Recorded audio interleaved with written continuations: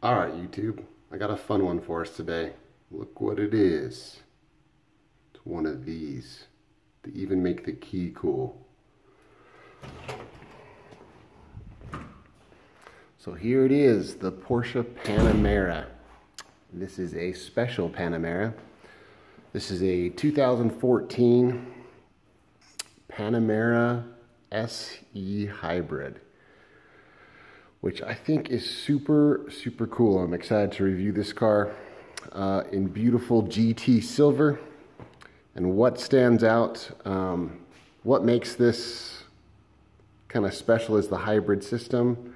Um, it's still a Porsche first and foremost, which I think is awesome. I love on this car just the, the subtle styling cues. Um, you can always tell the hybrids by their big, huge green calipers, and then they give you the green um, outline around their emblems, which is cool. So, you've got several different Panameras. I think this year there's nine different options, not in the 2014, in the 2018. I think there was like six or something in 2014, but I think this might be the best one. I really do. I think it has a good mix of you know, practicality and usability, um, performance, luxury, prestige, kind of all those things that a guy looking at a Porsche is, is going for. Now this isn't some, uh, this isn't saving the planet and it is uh, definitely if you're buying a Porsche, you're probably buying it more for the prestige and the looks and the overall performance and feel. Um, but I do think, you know, there's a place for it. This is this this thing MSRP'd for 110 grand, so you know, it's not a cheap car. But, you know, anybody looking at a Porsche, you know, the competitors are like your S-Class, your 7 Series, your Audi A8. And so I think, you know, these guys are already expecting to spend a little money. And I definitely, the Panamera at first, I wasn't sure um, how I liked it, but honestly, it's grown on me. I think it's probably one of the most beautiful uh, cars on the market today. And I know that's like total hit and miss. I think some people think the Panamera is ugly. I absolutely love it. It's just a beautiful design. Uh, looks a lot like their key actually, which is, which is awesome. There you go. It's the Panamera. But uh, anyway, sweet. So let's start off at the, on the outside at the front of the car here always, I don't know what it is, but I just, I love Porsche's emblems. They're just, ugh, they're just beautiful. All right, so let's go on these, these lights. Everybody's making the coolest lights nowadays. You've got your four little, little LEDs around it and then your um, HID in the front of the light, which I think looks awesome. This GT silver, man, this color, this color is, is just beautiful. You got your LED fog light these are your 20 inch, these are, these come off the turbo model, so this is an upgraded wheel. These things start out MSRP at about 99,000, I think, somewhere around there. And this one has about $10,000 worth of options. So these beautiful turbo 20 inch, I believe these are 20, yeah, 20 inch wheels. Um, like this little duct here, I think it looks really good and how they carry the line kind of all the way through. And it just has this great looking great looking just front fender. I don't know, I love that. Um, I like the painted wheel. I like how it's actually painted gray. Um, and then it's like the machine finish on the outside. You've got your little wing here that comes up and down, uh, which I also think is a really cool touch. You can kind of close it up and have it kind of chill. I think at around 75 miles an hour, it comes up automatically. And then of course your your quad pipes. So you've got your dual, your dual exhaust. Um, I think that's something that's really cool about this Panamera is that even though it's a, even though it's a hybrid SE Panamera S, which I think is cool, there's nothing on this car besides those subtle cues, besides those subtle cues that tell you, that say, you know, like the Nissan Leaf or something that's an electric car, like, I'm sorry, but it, it looks nerdy. This does not. So this is for the guy that, you know, that still wants a Porsche and still wants to be able to drive and have a, a, fun, nice drive. But when you're stuck in traffic in the city, you know, you have, you have a little bit of range on all electric that you can just cruise. And it just kind of makes sense. I guess if you had, you know, if you had a lot of money, you know, the turbo's pretty cool. But I don't know, I think this might be the coolest model of all the Panameras because of all the versatility in it. But anyways, I love the like, I guess in Germany they almost call this a shooting brake kind of. I guess it's not a full hatch, but it is awesome looking. Just a beautiful car.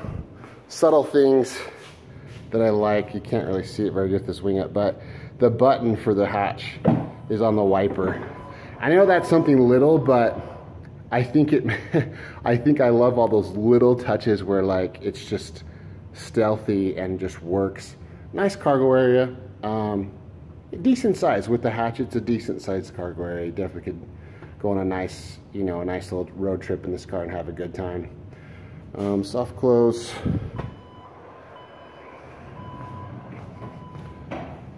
So, let's see. Anyways it's just it's just a beautiful car it has some serious road presence um, we'll get into some more of the technical things on the drive but just wanted to give you guys a quick look at it I'm excited for the driving portion. I love how their console goes all the way through the car. So you've got basically four captain's chairs. Um, they call this a agate gray. It's almost a brown to me, uh, and it's another great, whoever chose the colors on this car did a good job. Another great, great uh, looking interior. Let's take a quick look at the inside. I do like these, just like a 7 Series or an S-Class, you've got the door strut, so wherever you put the door, it'll hold it for you. So if you're on a hill getting your groceries out or something, it's always wherever you stop that door, it's gonna stop it. Porsche thing, key, key's always on the left side. It seems like on most Porsches or all Porsches. Uh, let's take a quick look at this. A lot of buttons but I like it. It's a really cool kind of jet fighter cockpit. Definitely, you kind of step down into the Porsche, um, which is cool. Uh, you you feel uh, very encapsulated in this car, like it's like a really nice cockpit. Love this piano black finish.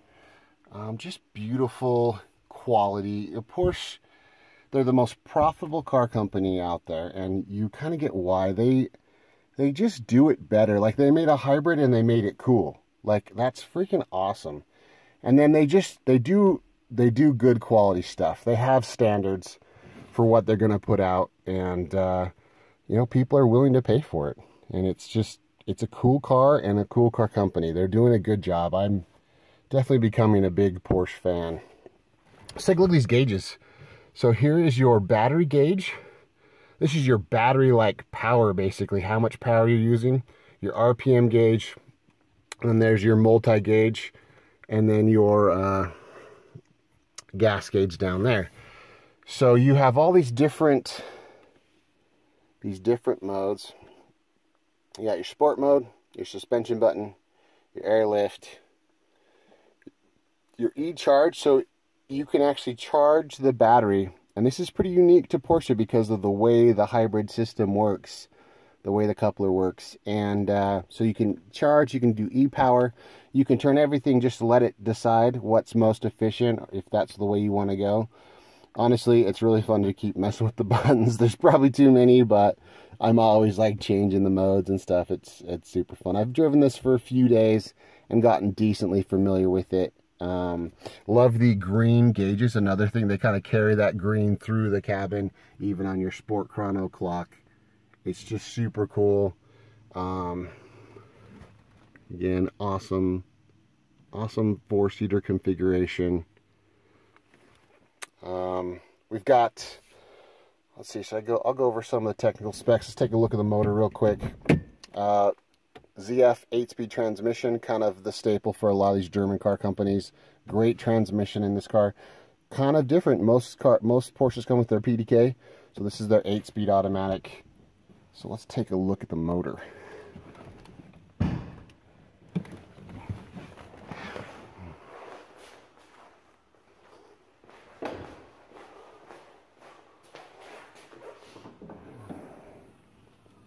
All right, so it's got a fancy looking cover on it, but this is basically an Audi S4 motor. This is their uh, 3 liter V6 supercharged engine, making 333 horsepower. Uh, combined, let's see, I think it was a 136 horsepower. No, it's a 90, I think it's a 96 horsepower electric motor. So, and then the combined horsepower is 416 and 435 foot-pounds of torque. So they stole some, they stole basically the, well they didn't steal it, but they took the engine from Audi and the transmission from Audi. So this would come in a A6 supercharged or an Audi S4. And so it's been an awesome engine actually. Anytime I buy an Audi product, I usually look for this combination. It's a great drivetrain, it's proven, and it's cool to see it in the Porsche and it's cool to have kind of two types of power in this car. That's really special about this car is that literally you can be on the gas engine, you can be on the electric motor, you can put them together. So you really get kind of a good driving experience, kind of whatever you want. If you just want to chill in traffic, you got that. If you want to, you know, give it some gas, it's got some good power. All right. Well, super excited to do the driving portion of this, so let's get to it, but there it is. GT Silver, agate gray, which is almost a brown interior. It's just a beautiful car. Um, and I think it might be the best Panamera to buy, especially used. They're, they're a bargain. Again, I'm kind of a three-year-old baller, and these cars are a good value, I feel like, um, on the used market. So pretty freaking sweet. All right, let's go do a drive. All right, let's go for a ride in this 2014 Panamera SE Hybrid. Let's start her up. So the first thing is when you start it up, it starts in e-power mode. So it's on, it's active, but it feels just like a, you know, regular electric car.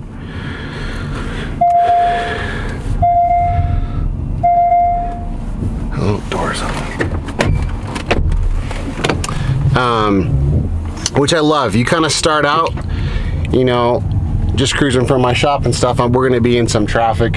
Thought it'd be fun to kind of do some city driving in this, and then we'll we'll hit the canyon too. But it's super uh, super peaceful, like other electric cars, and just kind of docile. Very nice um, suspension on this car. The air suspension is super luxury on this guy. It feels great. Um, really comfortable ride. You can see the car kind of floating over stuff and it is it is great. Um, so electric mode, we're all we're in all electric mode, 12 to 20 miles on range. Um, it's a little low. I wish I wish it had a little bit more. It's got a 9.4 kilowatt battery, but it's moving 4,600 pounds.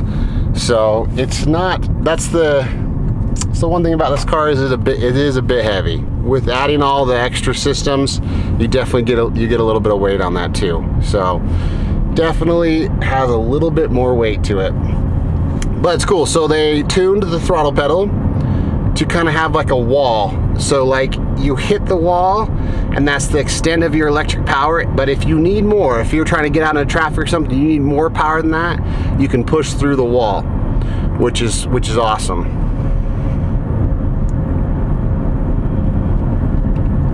So I like that about it. Um, as far as power in all electric mode, it's decent. It's not like, it's not gonna knock your socks off. It's not a Tesla as far as like, you know, power and all electric mode, but I kind of feel like it's adequate. You're stuck in traffic. We're just cruising right now. We don't need, I'm not trying to do zero to 60 in traffic, so it really doesn't matter. Um, but yeah, not, it's, it's adequate. It's not a crazy amount of power. Um, But I do love that it's just, we're, we're starting out in kind of silent stealth mode. Nobody else knows that this is really a hybrid unless you unless you tell them. They just think it's a cool Panamera, you know, with green brakes. And I like that about this car. Um, yeah, people just think it looks awesome. They just think it's a really cool Porsche um, with with some cool style to it.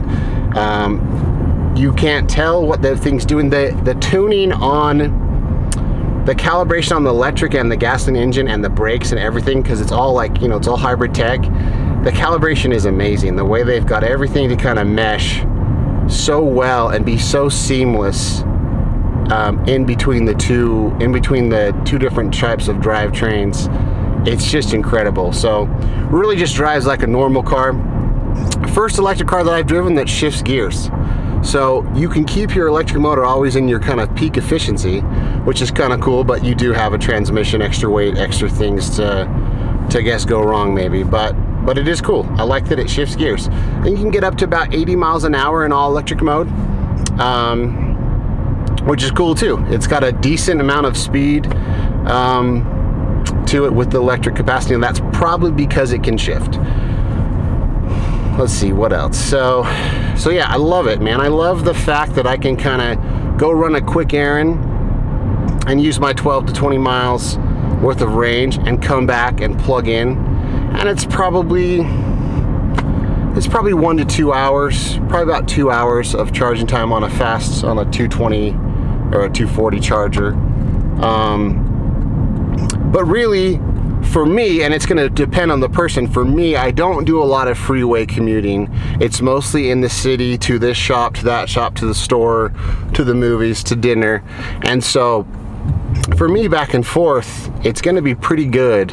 Um, I'm going to get good economy on it. And I, I guarantee people that are buying this car aren't necessarily looking at the economy. I mean, it matters somewhat, but it's a $110,000 car.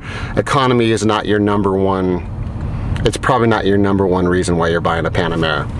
Um, but even if you don't care as much about economy, it is cool that you're getting, I think this car, so this car over 6,200 miles got 46 miles to the gallon. So that's respectable. It's a 4,600 pound car and they average 46 miles to the gallon. And I think that's pretty cool. I, that's pretty impressive. It really is. And I think the difference between this and like a Tesla or something else, there is no limits to it. You can fill the car up. It's got a ton of power. It's 0 to 16 5.2 seconds. You know, when I when you get on it, it, it goes and it feels good. It feels it feels like a Porsche. You know, Porsche did a good job of making a car with some cool tech to kind of get better gas mileage. And I'm sure they did it to kind of have their average you know, their average gas miles go up over their range. There was a bunch of regulation in place. But I don't think they, I think they took it serious at the same time. I think they, you know, this is basically, this is 918 tech. It's dumbed down. It's not gonna be the same as the 918, but it's similar technology. You know, it's, it's mating an electric motor, a transmission, and a gasoline engine together. Um, and it's really cool tech. And I think, I personally think that this is probably the, the near future. I think we're gonna get a lot of cars with a 40 to 50 mile range on electric that also can have a gasoline engine. So gasoline is super efficient on the highway, cruising on the highway. So hopefully those cars, you know, will get emissions out of cities and have great, peaceful, quiet cars in a city. And then when we get up on the highway, we can rip. You know, we can cruise, use a little bit of gas. We have all this gasoline infrastructure. I kind of think it makes sense. So I think in the in the long term, maybe there's going to be more electric, like full electric cars. But I think in the short term, the next 10 to 20 years, I think you're going to see a lot of this type of technology personally. And I think it works really well. And I think it's going to give you kind of the most efficient balance for the type of driving that you're doing. Um, and I love it because like, I, I definitely love the combination the one thing about like, so I drive, I still drive an i3 daily. The one thing about it, and I do love that car, that car's great, but the one thing about that car is that you still, even though you know it's so good, I still miss kind of punching an internal combustion engine and kind of you know, getting some revs and getting like that feeling. I miss the feeling. Um, electric cars have a cool feeling too, but I miss the feeling of just getting out and going. And I think that's what's cool with this car is it kind of hits all the marks. Like I can cruise, you know, in electric mode to the grocery store and just be peaceful and talk on my Bluetooth or whatever. And it's super quiet in here too, by the way. The sound deadening is amazing. But when I'm ready to go for, you know, for a run up the canyon or something and I want to have a little more fun and a little more power, I've got that too. So I like that about this car is like you kind of, you've got this touring car that is efficient and can just cruise around town super luxury and super nice. But you can also go and rip. And so I think, I think that makes it pretty special. I really do. And, uh, definitely for the price. These are in these are you know in the low 50s now. With this is three years old with 30,000 miles, so a pretty crazy value. You know, people are going looking at Tesla Model 3s for 60,000 bucks. You know, there's some cool stuff out there. There's a lot of cool stuff out there. So um, I don't know. I like it. They don't. They didn't. There's not a lot of these out there though. So there's probably only 1,500 of these on the road in America. They made probably 500, I believe, 500 about approximately a year for three years. So there's not a ton of these out there. So if you get one, you're kind of like one of the the lucky few. There's not a there's not a bunch of these Panameras. They don't make a ton of Porsche doesn't make a ton of cars in general.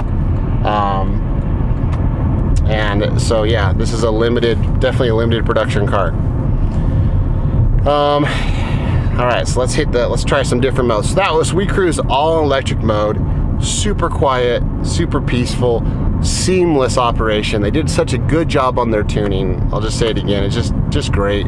Um, I love this cabin. I love all the buttons. I love the way I feel in this car. Um, it just feels like an awesome, I don't know, man. The Porsche, Porsche, they just, they do their ergonomics and their fit and finish so well. And it's just such a quality quality car. So let's throw it into sport. Um, let's stiffen up the suspension. So with sport now we've got all 333 horsepower um, of the engine and the 96 horsepower I believe of the electric motor. So 416 combined is what it is you don't get all of each you kind of combine, you lose a little bit but it's awesome it just it'll go. Uh, I think 0 to 60, like I said, I think is 5.2 seconds. And it's just a tour, man. So one of the negatives of of this car would probably be the weight. I think weight is one of the most important things in a, any car. I think that's why the i3 is so good is because it's so light. But with that said, being that it's a big car, kind of a touring car, it feels so on the road and, and just planted and so nice. And there's just, it's just got a great luxury feel to it. I think that's what weight does for you. It gives you like a very luxurious feel. Um, and just very planted and very good. These only came in two-wheel drive. The brand new 2018s came in all-wheel drive and they're another 200 pounds heavier, which would make sense. They also have a bigger battery. You know, but if you've seen my other videos, you know I don't love all-wheel drive. Um, I prefer two-wheel drive. In a big car though, that is the exception. This isn't, to me, this isn't some racetrack car. I know some people may take it on that, but this is an Autobahn cruiser. This is a freeway machine, a luxury business professional, I don't know, just cool kind of all-arounder um, grand touring car. And so on this car, I actually wouldn't care if it had all drive because I'm not trying to drift corners in a Panamera. So it's uh, it'd be cool with all drive too. Um, yeah, so with it stiffened up and in sport mode, I've got a little traffic here, but it just, it rips. Um, and 0 to 60 numbers are a little deceiving. They're kind of, they're, I wouldn't say they're low, but it feels faster once you're moving. So when you're already rolling and you give it gas, it's got this rush of power and it's a very different feel of horsepower and torque with the with the combination. You can feel the uh, you can feel the difference. It's not just one or the other, it's kind of both, and it's really cool. Another thing I've kind of noticed, so like we're cruising at like 1800 RPMs here, you can't see the gauge, sorry, but on my electric power gauge, when I modulate kind of that just light throttle, it just is adding a little bit of electric power instead of really messing with the engine RPM. So it's really cool tuning that they can they can sit there and adjust between the two powertrains. And I just think it's brilliant. It's just brilliant engineering and uh, just really cool. And uh, yeah, I think this is the best Panamera. I, I was thinking about it. Panamera Turbo, sure, it rips, it, it's super fast, but you just don't have that much road nowadays unless you've got just open autobahn you know where you can just really get out and rip it just doesn't really make sense and this is cheaper used than a Panamera S so for sure I would take it over a Panamera S because this has all the power that a Panamera S has and then all the cool all the cool hybrid and electric tech in it so why would you not why would you not just want the extra? It feels just as good and you get more. So I would definitely, I think this is the coolest Panamera. I think if you are looking for a used Panamera, if you can find an e-hybrid, they're awesome. They're awesome. And I think uh, they're overlooked a little bit and I think it's probably the best one. Let's do some, let's do some. Yeah, just great rush, a rush of torque just crazy, just ripping up to 100 miles an hour in two seconds in this thing, man. It's it's insane. Um, and super quiet and comfortable. Great sound deadening in the Porsche Panamera. Just uh, deadening. It has a really quiet cabin. Um, really a nice place to be. Okay, so we used about a half tank of electric getting to the canyon. Um, we're getting some sport driving here. Let's hit these twisties. This is nice. This is one of my favorite parts of the canyon. A little bit of roll, um, but not bad. You know, the air suspension is such good tuning. It really does stiffen up well when you put it in sport mode and stays pretty flat. Um, yeah, it's, it's awesome, man. It's a really, it's a really well-built car. I'm just so impressed how, how good they mended all the technologies together in this car. I think they just did an amazing job um, doing that, just balancing them all out. All right, so we're at about 50% battery right now. Let's go ahead and throw it into e-charge mode. So let's talk about e-charge mode. So let's say you're in the city, um, you're in your home city, you go and you run your 10, 15 miles of errands on electric mode.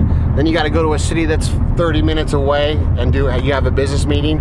On the way to that city, you throw it in e-charge mode on the highway, keeping your emissions and stuff out of the city. You cruise to that city.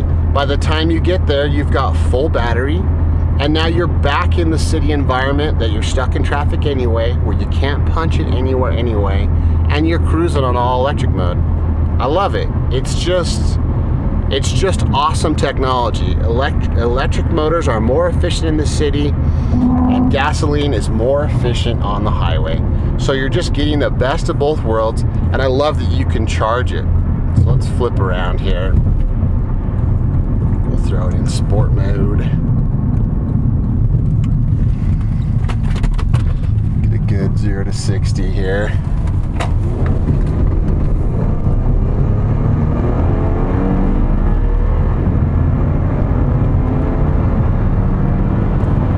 And it goes.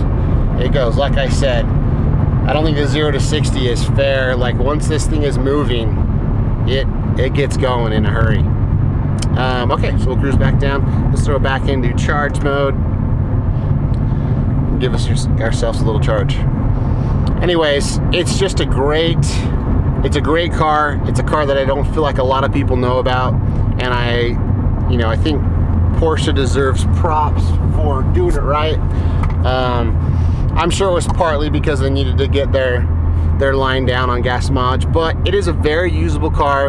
Um, its downsides would be weight. It is a little heavy. It does feel nice on the highway, but it is a little heavy, and it's just going to be tough over the years. I think battery tech's gonna get a lot better, a lot lighter. I also think, you know, just building materials are gonna get better. Um, and they'll be able to get the weight down in these. But considering what it can do, it's actually not too heavy. Um,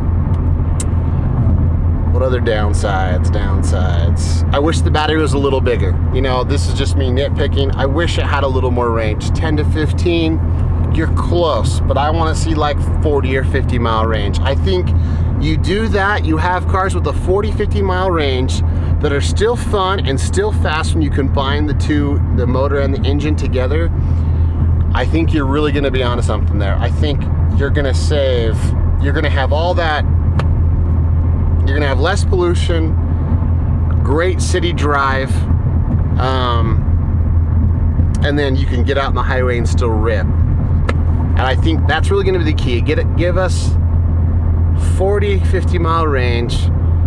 Um, I wish the electric motor had a little bit more power. So just a little bit more horsepower. It's not bad. It does okay. I wish it had a little more on electric mode. Um, but again, it is for kind of just city cruising. Um, what else? I don't know. I wish there was more available for people. I wish more people could access a cool car like this. Um, so hopefully with just, you know, these are the first ones kind of coming out, but I think you're going to see more and more of this. I think it's going to become, I think these manufacturers are going to do more of this type. They're definitely going to have their all electrics too. Um, there's a lot of all electrics coming too, but I, man, I, I don't know you know, everybody's driving situation is different, but this definitely works for me. Um, they addressed a lot of these concerns with the brand new um, Panamera 4 SE Hybrid. It has a 14.1 kilowatt battery. It has a little bit more horsepower in the electric motor. It's all-wheel drive, which is cool, but it's a little heavier. Um, I think it does like 20 to 30 miles, so it's, you know, it's a little bit better. Um, I also went with the PDK in the new one. So they've definitely put a lot of development into it and uh, it's cool technology. I told you it's an Audi engine and a ZF transmission, which means literally they can put this tech in all your Audis, all kinds of cars they could they could retrofit this system to, which is pretty awesome. They made a system that they can kind of throw in almost any configuration, which is super impressive. But yeah, I don't know. I love it. I love the Porsche Panamera, and if you're in the market for a beautiful luxury car with some prestige that's quality, well built, um, that's that's super techy and cool and fun. Man, it might be a Porsche Panamera. I over a 7 Series or an S-Class, you know, or that an Audi A8, this car has cool factor too. It's just cool. You know, kids gonna see this car and be like, that car is cool. And so it's not like a total tech fest. This one, I don't. This one doesn't have any of the driver's assistant stuff. I know it does. Some of them do come with it, but man, it's a pleasure to drive. Um, I hope you guys enjoyed my Panamera SE Hybrid review. I love the car. You guys have any questions, please let me know in the comment. Please like and subscribe. All right, I appreciate it, guys. Thanks.